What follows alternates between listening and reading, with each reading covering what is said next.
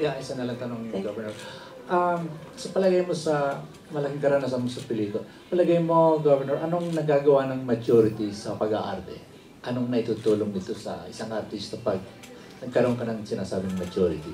Majority. Ah, ah maturity. Maturity. That's right, yeah. Ah, sorry. Sakit yun, parang tumatanda ka na. May plus factor in a way. Ah, ang plus factor doon siguro kasi sa laki na more than 50 years na ako sa show business, kahit pa paano, yung mga natutunan mo, kasi hindi ka naman perfecto talaga sa una.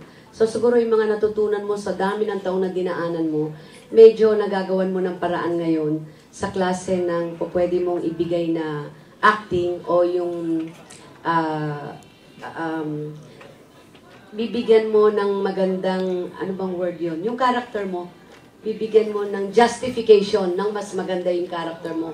Kasi may nas- nasasama na po doon na personal experience.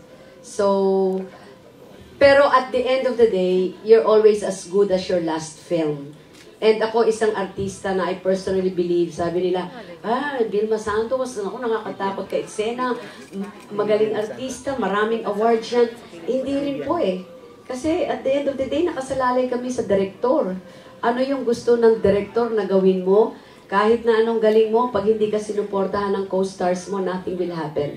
So, every time we will talk about movies o a movie, it is not only because of one star. Lahat yan kasama. Kung sino yung mga kasama mo, leading man mo, kasama mo, uh, extra, but at the end of the day, the captain of the ship is still the director. Kung ano yung gusto niya mangyari, yun ang mangyayari. Yeah, So, you part of learning, part of learning. Yeah, thank you. Isa na lang, ah,